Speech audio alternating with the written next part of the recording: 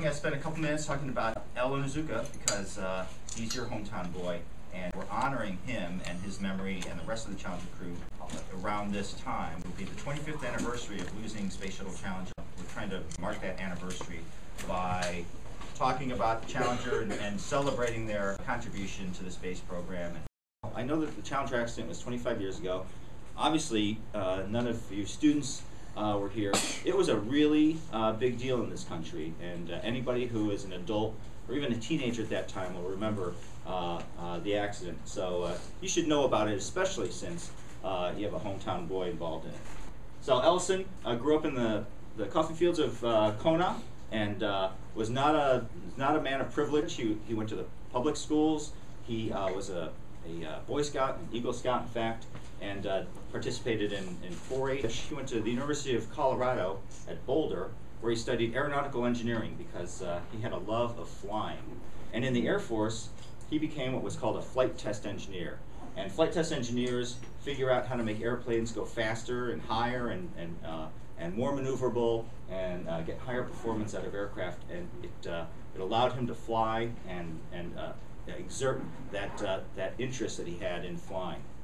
He got selected by NASA in 1976 to be a, an astronaut, and after uh, training, he was uh, given his first mission in 1985, where they deployed a, uh, a military satellite and uh, El got uh, his first taste of, of weightlessness and uh, the incredible experience of being in space.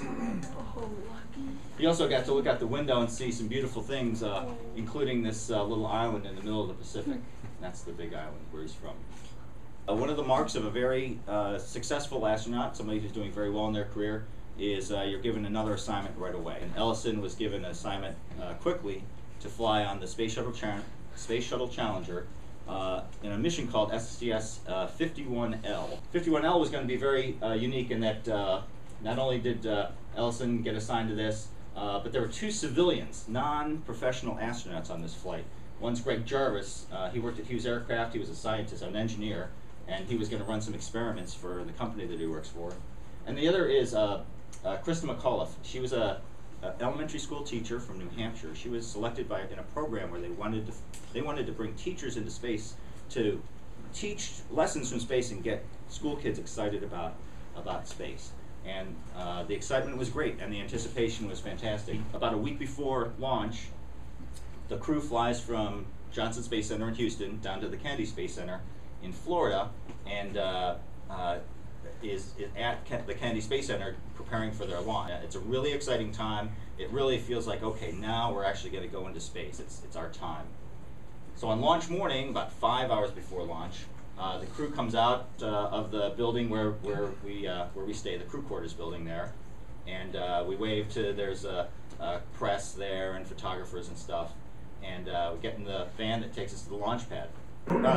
T minus 15 seconds. 86. T minus 10, 9, 8, 7, 6. We have main engine start. 4, 3, 2, 1, and liftoff. Liftoff of the 25th Space Shuttle mission, and it has cleared the tower. Only in this little compartment up here, okay? And what nobody knows roll program Challenger now heading downrange. In this uh, solid rocket booster, and that hole is letting all this hot gas escape out of it, and it's heading towards the external tank. Engines beginning throttling down now at 94%. Normal throttles uh, most of the flight, 104%. Hot exhaust is uh, escaping that solid rocket. We'll throttle down to uh, 65% shortly.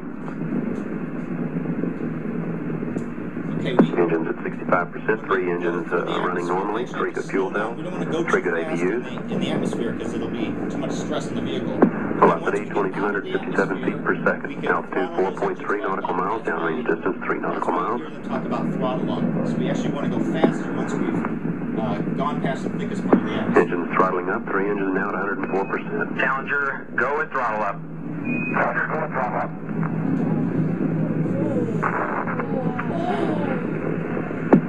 15 seconds. Velocity 2,900 feet per second. Altitude 9 nautical miles. Downrange distance 7 nautical miles. So the gas that was escaping from that solid rocket booster had gotten so hot and so intense that it actually broke a, a, a strut, broke a, a, connecting piece between the shuttle and the liquid tank and, uh, and the solid rocket booster.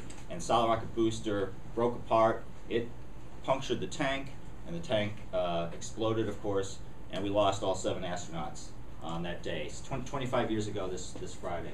And anybody who is, uh, can remember that time uh, certainly remembers where they were and, and how the country reacted to, uh, to that tragedy. But what we did was uh, we figured out that problem. We figured out how to fix those solid rocket boosters, and about two, we- two years, uh, two and a half years later, uh, we got flying the space shuttle again. The Challenger was the 25th mission of the space shuttle, and uh, next month we'll fly the 133rd mission of the space shuttle. So we've had uh, a, a successful uh, run of missions on the space shuttle. It, uh, we're reminded, of course, that space flight is dangerous. We, we lost the space shuttle Columbia eight years ago, also eight years ago on Tuesday, and uh, so we're reminded how dangerous space flight is. Uh, but I think if you ask any of the astronauts, it's worth it. And uh, the, the contributions we're making to space and the knowledge of how to fly in space uh, is growing with every mission.